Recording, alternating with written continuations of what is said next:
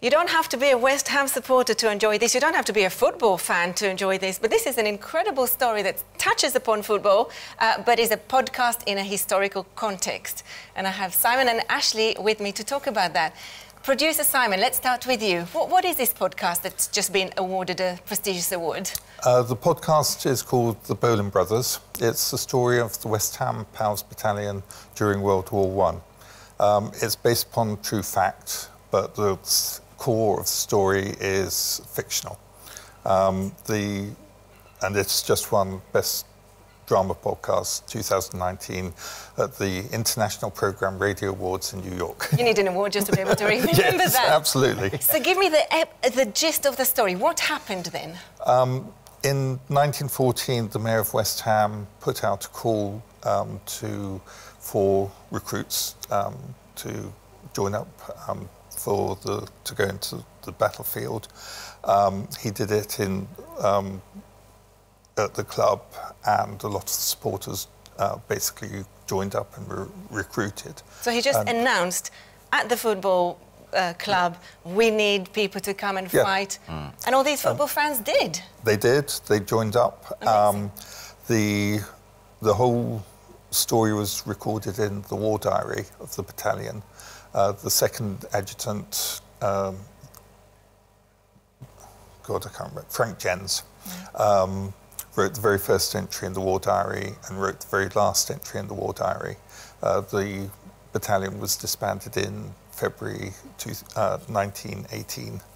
Um, so it, they, they went through all the major campaigns during right. World War One. So for the, the duration of the war, football fans got together, fought. Many of them died. Yes, yes. most um, most of them died. Most of them um, died, and were replaced. And replaced by, by more West Ham supporters. Yeah, absolutely. This is incredible. Yeah. Ashley, you, you produced the music. You designed the the music. Yeah. Uh, for this, and and you have an amazing.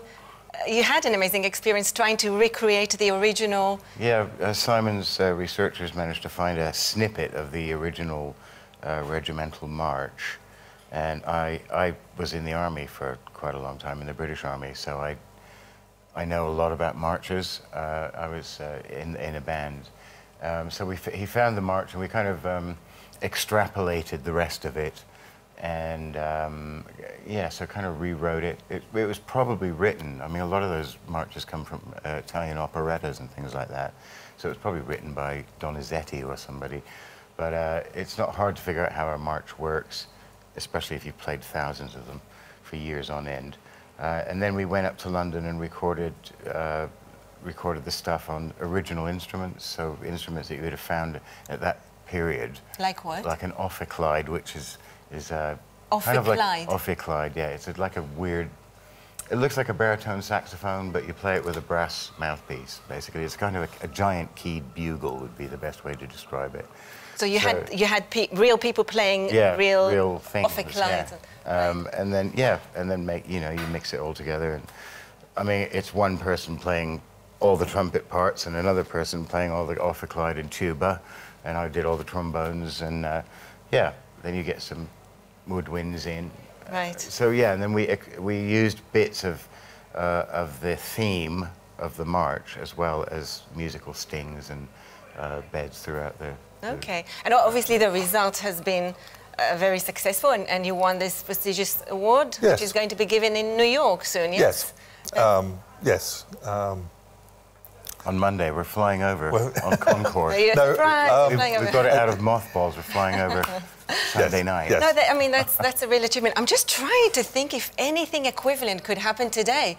I mean, in a football club, someone standing up and saying come on, guys, let's go and uh, I can't, but you know. I, I don't think. I think it was it was a product of its time. Of yeah, its time. very much. Yes. Yeah. Great. So, how can we listen to it? Uh, the easiest way is to do a search on Google um, for the other one percent. The other one percent. That's your own production that company. That is the that's the podcast brand.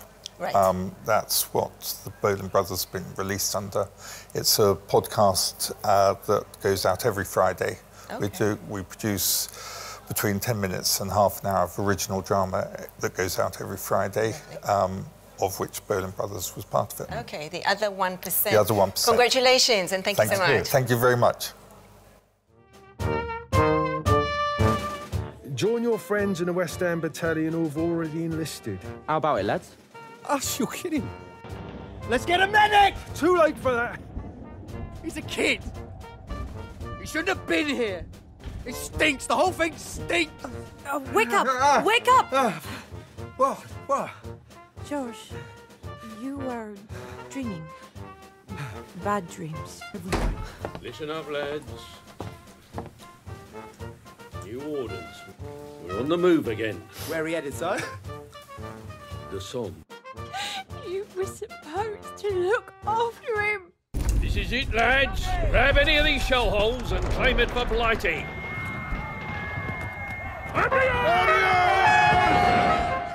The Boleyn Brothers. Stories with attitude for mature listeners.